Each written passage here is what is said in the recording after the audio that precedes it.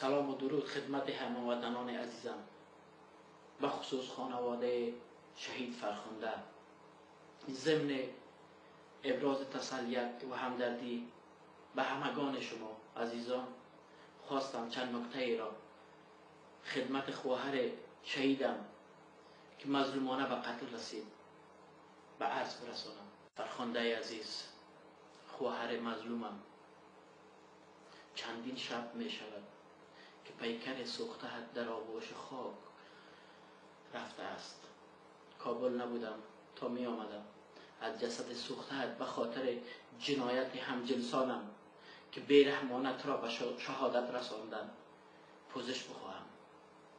می‌دانم با پوزش خواستن من گناه مرد بودنم برطرف نمی شود با درد کشیدن تقصیر همجنس بودنم با مردان غیرت تمام نمی شود اما می خواستم بر پیکر سوخته بگیریم فریاد بزنم و به پیشگاه خداوند از مرد بودنم حساس شرمساری کنم.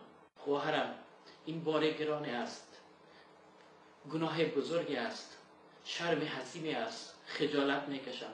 خواهرم که در میان این همه مردها و همجنسان من کسی نبود تا مانع شود.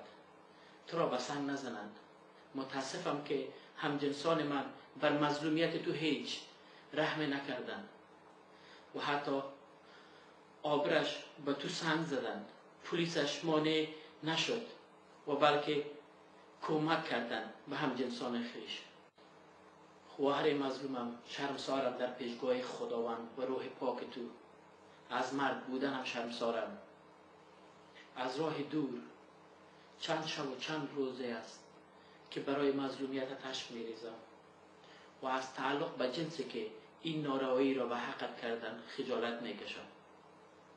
خواهرم مرا ببخش که مرد هستم و به هم جنس که پلیس و ملای تعویز نویس و آبر مثل, مثل درنده ها خونت را ریختاندن تعلق دارم. شرم مرد بودن و قتل مظلومانه تو داغ است تا که تا قیامت در دلم از دلم بیرون نمی رود اما در برابر روح پاکت وعده می سپارم.